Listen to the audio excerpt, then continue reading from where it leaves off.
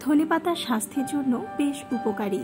বর্তমান সময়ে সারা বছরই ধনে পাতা পাওয়া যায়, কিন্তু সেটা অল্প পরিমাণে এবং কি সব জায়গায় এটি পাওয়া যায় না। অথচ শীতকালে বাজারে প্রচুর ধনে পাতার দেখা মেলে। এ সময় এটি বেশ সহজলভ্যও হয়। আর শীতের সময় এটির দামও কম পড়ে।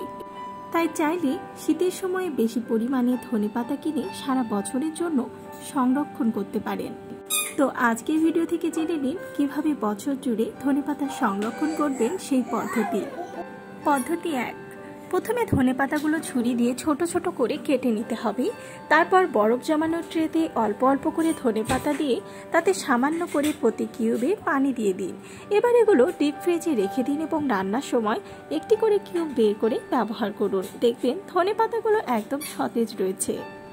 পদ্ধতি দুই। প্রথমে ধনে পাতার ডাটা থেকে পাতা বেছে নিন। পাতাগুলো ভালো করে ধুয়ে পানি ঝরিয়ে পেপারের উপর বিছিয়ে দিন। ঘন্টাখানিক পর পানি টেনে পাতাগুলো ড্রাই হলে কিচেন টিস্যুতে নিয়ে চারপাশ আটকে চিপলক ব্যাগ বা পলিথিনে বা বাটিতে ভরে ফ্রিজে রাখুন।